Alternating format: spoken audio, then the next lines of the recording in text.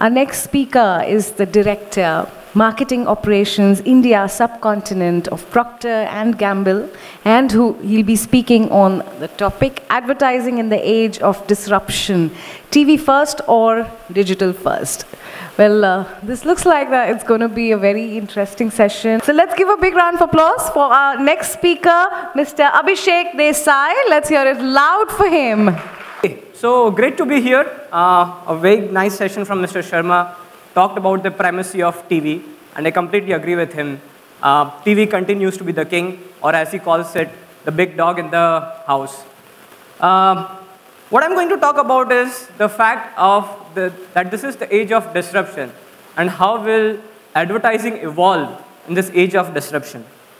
Now, for those of you who are on social media, there has been something which has been trending for the past few days. Any guesses? What is that? 10 year challenge. Yes, PUBG 2. Uh, 10 year challenge. For those of you who are living under a rock, let me share with you what really is a 10 year challenge. Uh, starting with me, okay? Though that is not the point of this presentation, 10 years challenge is what you used to look 10 years ago and how do you look now. So I said, how do we extend this 10 year challenge to the world that we live in, the world of technology that we live in? And that took me to the first point 10 years ago, the first Android phone was launched in India. Remember those days when the phone was used to make a call? And now, the phone is used for so many more things. I see people chatting away for half an hour but not picking up the phone and calling each other. Right? So the world has changed.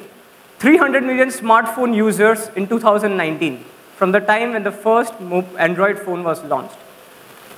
Going to the next one. Remember those days when your Buaji would give you a missed call saying, I've reached home beta. To a time when the same Buaji is now sharing the good morning messages early in the morning. And you all have fake news uncles also, I'm sure.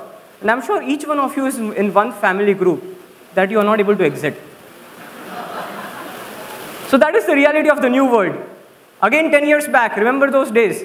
Used to hail the Kali Pili or the autos, not worried about getting rejected by Uh, your, by your employers or opposite gender, but getting worried about getting rejected by those auto wallahs saying, no, I don't want to go where you want to go.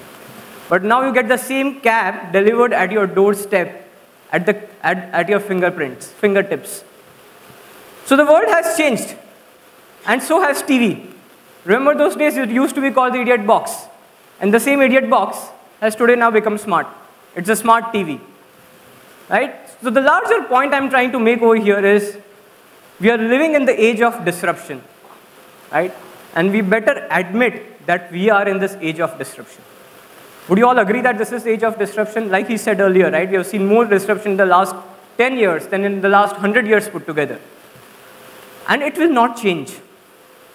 But if you go back to history, it's something to note that disruption is not new. The world has been disrupted many times advertising platforms and the media industry has been disrupted many times. And through these ages, P&G has been at the forefront of driving disruption. Driving disruption in advertising, driving disruption in brand building, because that is the only way we can stay ahead of the game. So let's take a few examples here. Going back to 1882, the age when print started, we are the first company where we led the innovation in print advertising by mass marketing of brands. The age of brand building had begun then. So far, it was all about companies and we had started building brands. Fast forward, a few years later, in 1923, we pioneered radio advertising. Radio disrupted the print industry. And back then, radio was genuinely the cool new thing in town. We partnered with cooking shows to get our brands placed and integrated into content. What came next? And we launched the first radio soap opera. Moving on, the age of television came. And within a span of five months after the first TV programming was launched in the US, P&G launched its first TV advertising in the middle of a major league baseball match. And I don't know how many of you know this, but the term soap opera is derived from the fact that P&G started advertising our ivory soap through it. And this opera, the culture of soap opera began there. Right? So I'm just going back to the times when disruption really happened.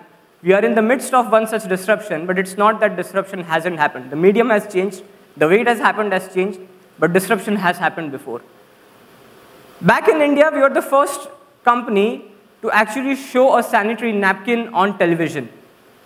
When, back in the time when it was considered a taboo, as recently at 1992. Coming closer to the digital age, we partnered with Facebook to create, to launch our, Mark, our Vector 3 razor using a feature phone.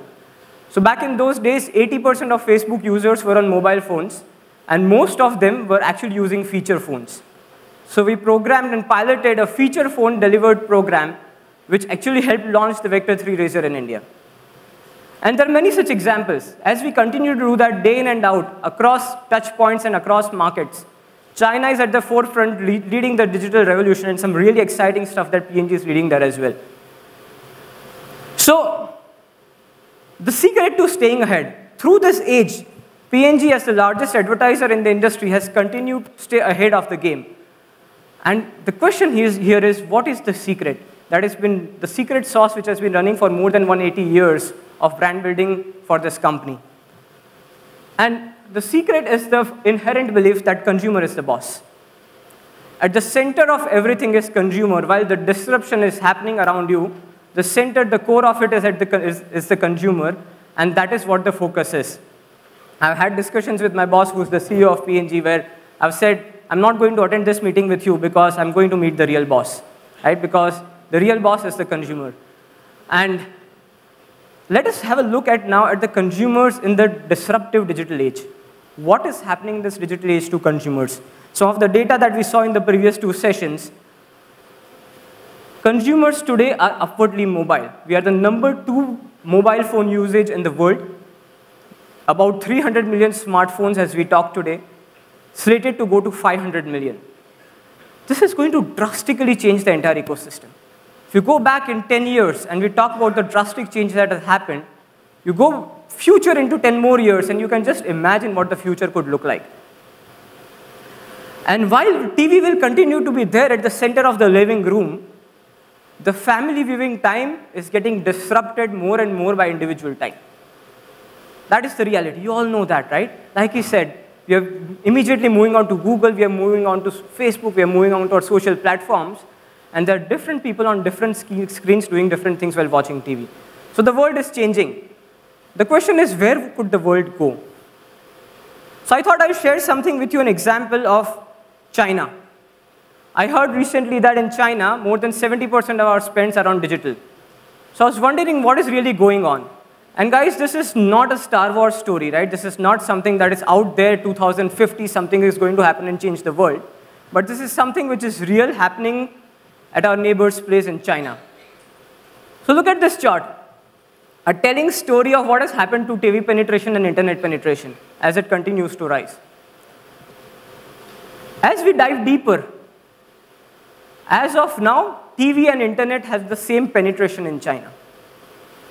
They already have the same penetration. But this picture is still not complete. The question was, why is still bulk of the spends on digital? TV continues to be the primary medium, but bulk of the advertising spends are on digital. And the reason for that is TV is not the TV that we talk about in India. 65% of TV in China is digital TV.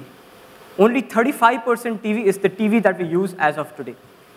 So it's a mix of IPTV, it's a mix of OTT, it's on-demand television. So now the question is, if you're watching your Netflix or Hotstar or whatever OTT platform you're watching on your TV, is it digital or is it TV? What is it? It is digital, it is TV. So the reality is, boundaries are getting blurred. I think the world is moving to a stage where there is neither TV nor there is digital. There is an integrated screen. There is a screen, there are platforms which are integrated. And that's the reality of this world. So the question is whether TV first or digital first. I would say I would submit neither of the two.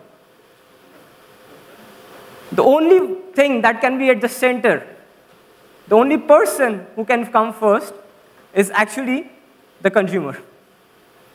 Going back to the times we were talking earlier, disruption through the ages, what didn't change was consumer first. And the philosophy of keeping the consumer at the heart of everything that we do. And in a world where more and more things are integrated, we need to reinvent ourselves. I completely agree today TV is king. The fact that 800 plus, 800 million plus consumers are watching TV, and that number is only growing, just that the definition of TV is probably going to change very soon. And the world is not going to be a TV world or a digital world, it's going to be an integrated world. So, how do we thrive in this age of disruption? As advertisers, as marketers, what do we need to do to thrive in this age of disruption? And I have three submissions, three points to raise over here. The first one is raising the creative bar. Second is stepping up our game as advertisers. And third, a wake up call to all of us sitting here and outside this rooms who are in the field of advertising. Going to the first one, raising the creative bar. The reality is we need to now earn the consumer's attention. The consumer continues to spend more time on the digital platforms, not spending less time on TV. Consumer is consuming more and more of media, and we need to fight for that consumer's attention in a way that we don't disrupt or annoy the consumers. So how is that going to happen? The center of it is creativity. At P&G, we believe that creativity is a must-have. It is not a nice-to-have. And creativity is the center of everything that we do. At the heart of it is what we call as the creative compass. I really like that metaphor because at the center of the creative compass are insights that tap into consumers, that make our brands relevant, and that will make, that will create an impact in the consumer's lives through our brands. But the creative compass also gives us the freedom to have a cultural point of view, to play a broader role in consumers' lives, to be an agent of social change, and to touch heartstrings as well along the process.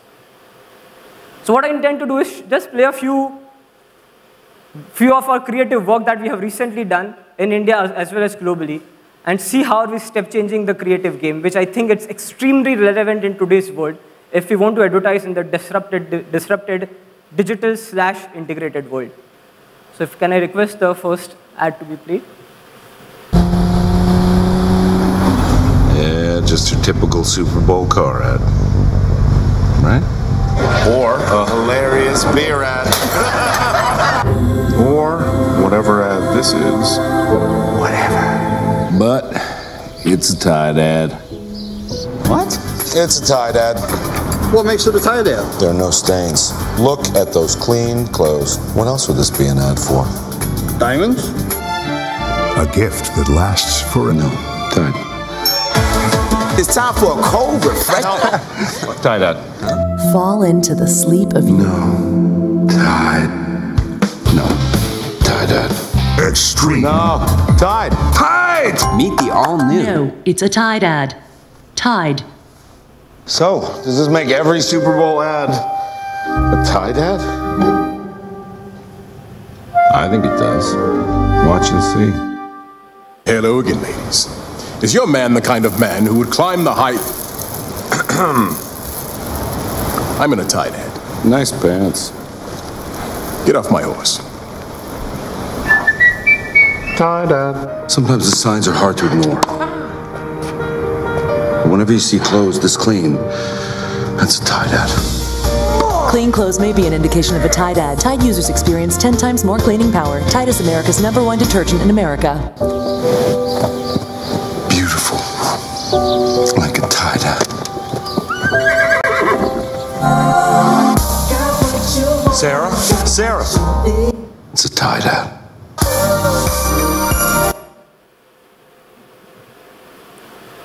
I'm sure you're all familiar with advertising during Super Bowl in the US, right?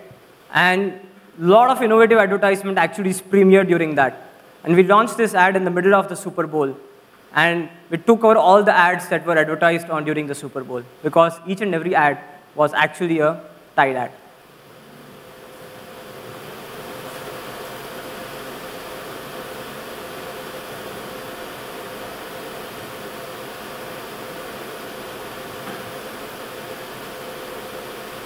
Can you play the second video?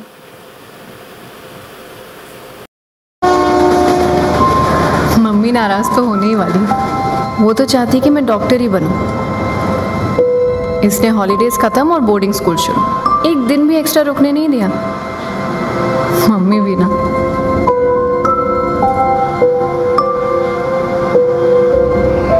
Mummy ने अपनी life अपने आप ही बनाई। अठारह साल की थी जब उनके फादर ने उन्हें घर से निकाल दिया। अकेले रहने का तो सोचने से भी डर लगता है मैंने अपने पापा को कभी देखा नहीं। और मेरी असली माँ, वो बहुत बीमार रहती थी। उनके बारे में सिर्फ़ एक ही दिन याद है, जो मैं कभी भुला नहीं पाती। एक दिन कुछ लोग आए और उन्हें एंबुलेंस में ले गए।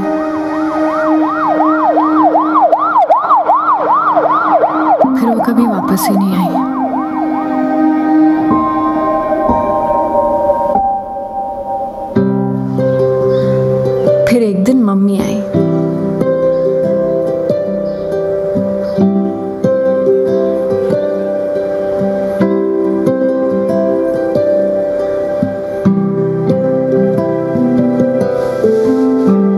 बहुत प्यार से मुझे अपनी गोद में बिठाया और मुझे अपने घर ले गई।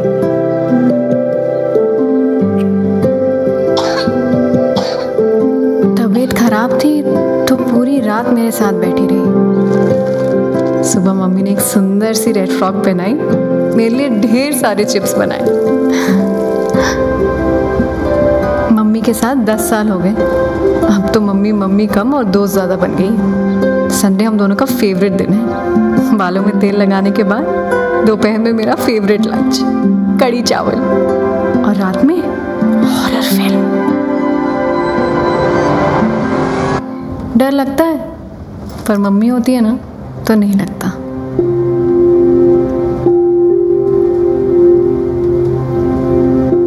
ये है मेरी मम्मी। है ना प्यारी?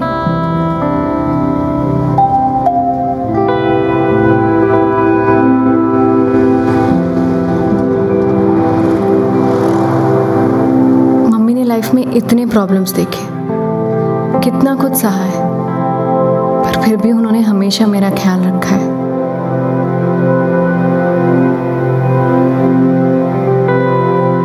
सिविक्स बुक में तो लिखा है कि सबके लिए बेसिक राइट सेम होते हैं।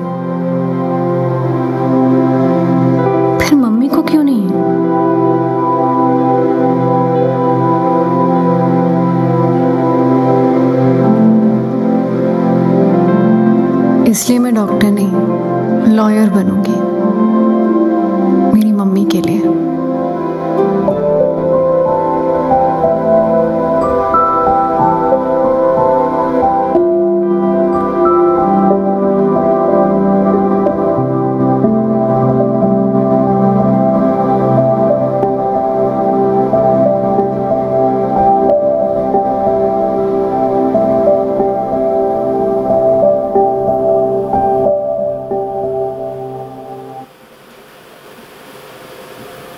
Yeah, so this is the creative canvas I was talking about, right? At the core of it continues to be our brands and the roles that they play in consumers' lives. But the canvas provides something much larger that we can do, which can have a cultural larger impact, which can be either funny, it could be poignant, or it could be emotional.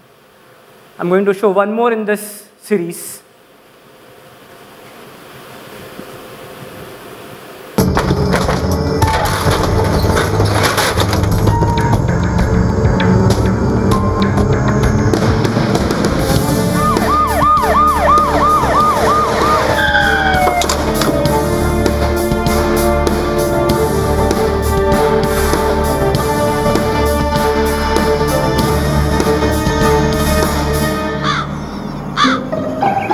To hide your pad.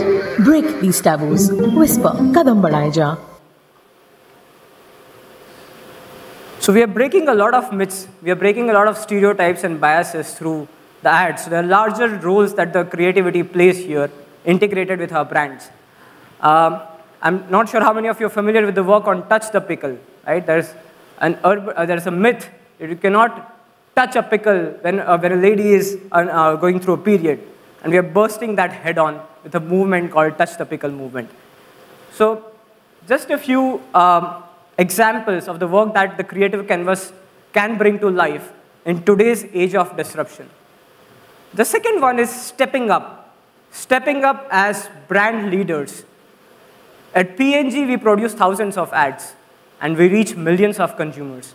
And we believe that it is a desperate need, it is our responsibility for us to be a force for good and a force for growth. As big brands, we have responsibilities in the larger, larger cultural and social dynamics, and we need to step up to this challenge. We believe that as brands, we can no longer be restricted to what we or the brand or the product stands for, but we need to play a larger role in the society. And again, I'm going to share a couple of examples here, starting with the first one on Ariel, where we did a campaign on dads sharing the load. नाना ये देखो shield leg helmet homework हो गया mummy ये देखो फिर दाग लगा दिया पापा ये लीजिए आपके घर जाने की टिकट हेलो या I am just going to send you the email in 5 minutes या give me 5 minutes I am working on the present मेरी छोटी सी गुड़िया कितनी बड़ी हो गई। घर घर खेलती थी, अब घर संभालती है, ऑफ़िस संभालती है।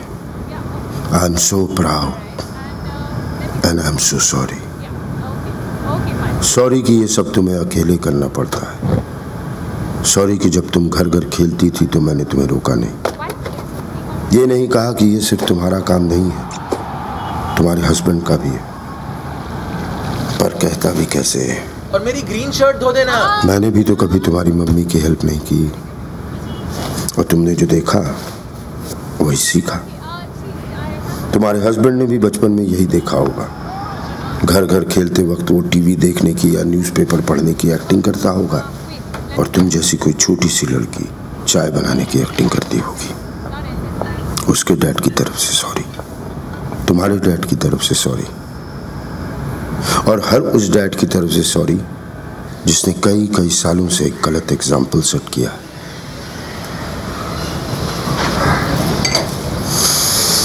पर अभी भी देर नहीं हुई। इस सॉरी के साथ मैं अपनी तरफ़ से एक छोटी सी कोशिश करूँगा कि घर के काम में मम्मी की हेल्प करूँ। किचन का किंग ना बन पाऊँ तो कम से कम लॉन्ड्री में तो हाथ बटाऊं। इतने साल एक गलत एग्ज़ाम्पल सेट किया है। अब कुछ सही कर जाऊँ। तुम्हारा papa.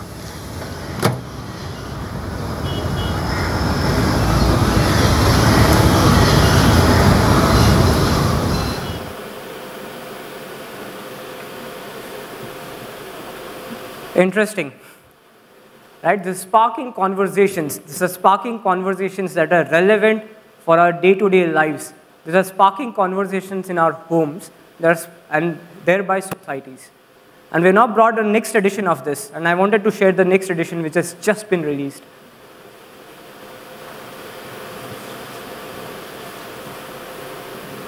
मैं मैं पूरन पोली बना रही हूँ तेरे भाई की फेवरेट तेरे रूम की क्या हालत बना रखी है इसने ना बस पूछ मत हाँ।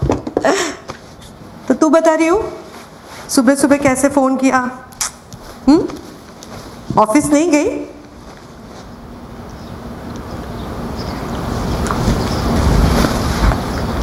क्या? जॉब छोड़ दिया मतलब? अरे, ऐसे कैसे? कितनी तरक्की हुई थी तुम्हारी ये हम भी कितना प्राउड फील कर रहे थे। अचानक ये जॉब छोड़ना रियू कैसे? जॉब छोड़ रही है। क्यों? पर बेटा शादी के बाद घर के काम बढ़ जाते हैं। लेकिन तू अकेले थोड़ी है। आकाश भी तो है तुम्हारे साथ। वो घर के काम में तुम्हारी हेल्प कर सकता है है ना? अरे उसे घर का काम नहीं आता मतलब? ऐसे कैसे नहीं आता?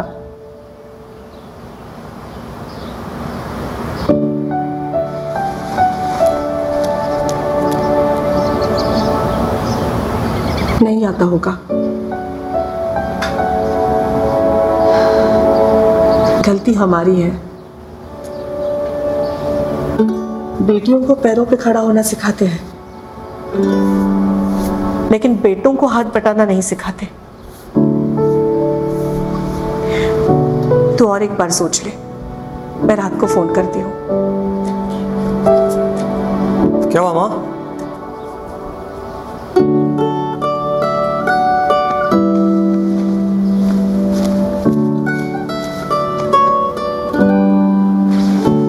क्या हुआ माँ?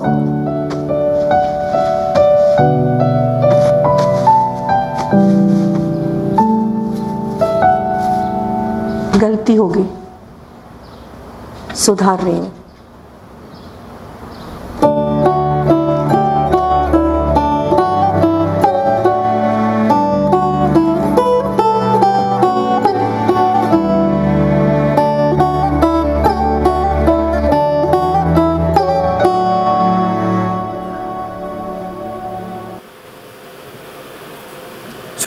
Conversation further and deep diving into core consumer insights and figuring out, figuring out why that challenge happens today, right? Because the challenge was created much earlier.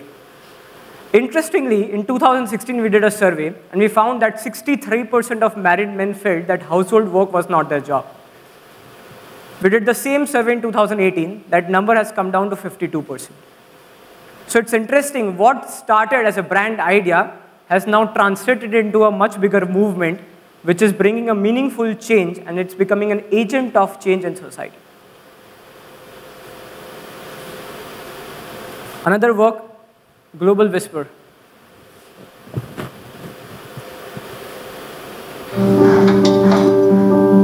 Hi, Aaron. Show me what it looks like to run like a girl. Hair. Show me what it looks like to fight like a girl. Now throw like a girl. Aww. So do you think you just insulted your sister? No. I mean, yeah, insulted girls, but not my sister. My name is Dakota, and I'm 10 years old. Show me what it looks like to run like a girl. Throw like a girl. Fight like a girl. What does it mean to you when I say run like a girl? It means run fast as you can.